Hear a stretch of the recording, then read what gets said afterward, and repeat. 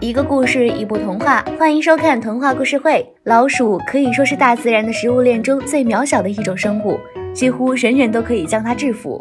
可如果有一天它同时遇到了两个天敌，又会发生怎样的故事呢？冰天雪地的森林中，一只饥饿的狐狸正在寻找食物。突然，一只灵巧的小老鼠引起了它的注意。显然，老鼠也已经察觉到了狐狸的存在。它飞快地向前跑去，利用自己的毕生所学，爬到了一棵树上。然而不巧的是，这只树上有两只猫头鹰正在打盹儿。要知道，对于猫头鹰来说，老鼠也算是这冬季中不可多得的美食了。小老鼠悄悄地走到它们身边，想要鬼装成一只小猫头鹰的样子来骗过狐狸。可是狡猾的狐狸依然搬动树枝，成功地将它震落了下来，而且此举还惊动了两只猫头鹰。于是，猫头鹰和狐狸开始了争夺食物大战。小老鼠夹在中间，可以说是十分的恐惧不安。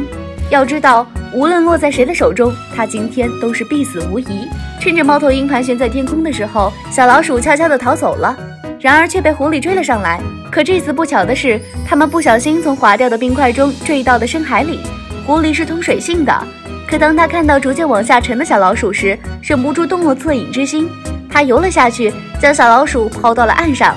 可这一次，他自己却被冰块给压住了。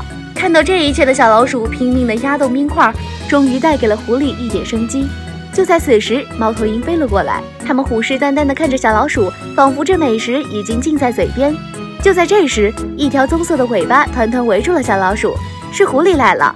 它露出凶猛的表情，成功吓走了两个猫头鹰，然后像没事发生一样的放走了小老鼠。他以为自己又要孤孤单单的前去寻找食物了，可没想到的是，小老鼠转了个圈后，竟然回来寻找他，显然是一副不怕他的样子了。他们仿佛经过这事情以后，成为了一对挚友。尽管他们种族不同，可两个充满善良的人，总会在这寒冷无比的森林中，带给彼此一丝丝温暖和爱意。好了，今天的故事就讲到这里了。喜欢童话故事的朋友，关注留言并加转发哦。